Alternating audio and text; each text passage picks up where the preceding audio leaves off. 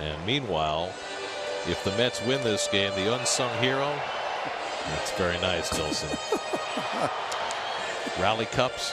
Why not? If the Mets come back and win this game, unsung hero is going to be Sean Gilmartin. Yes. Who just gave them two hitless innings in relief to calm everything down when every other pitcher was failing.